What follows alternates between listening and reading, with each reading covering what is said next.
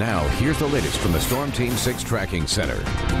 I'm meteorologist Todd Klaassen. Thanks for joining us here on HTSN. Yesterday was a picture perfect day with sunny skies and temperatures climbing into the upper 60s. Today, a little more in the way of cloud cover, but still a great day at the track if you want to head out there for Indy 500 practice. Skies will start off partly cloudy at the noon hour, and then the clouds will increase throughout the course of the afternoon. Eventually, by 4 p.m., mostly cloudy skies, uh, but the temperature will climb all the way up to 72 degrees. And here is your planner across the entire area with a few more hours added on uh, to the bottom of it. 6 p.m. Uh, 70 degrees, 68 will be their temperature by 8 p.m. Then comfortable at 65 at the 10 p.m. hour. But again, skies will be mostly cloudy. Now, the one thing we really don't have to worry about today, even if the clouds do start to thicken up, is any rainfall. We will remain completely dry. It's not until probably after the midnight hour as the warm front starts to work through that we start to bring in a few spotty showers with maybe a pocket or two of heavier rainfall, but we're not expecting any uh, severe weather. And then throughout the day tomorrow, again, there'll be some storms in the forecast, but they're on a very, very spotty basis. The day will certainly feature more dry hours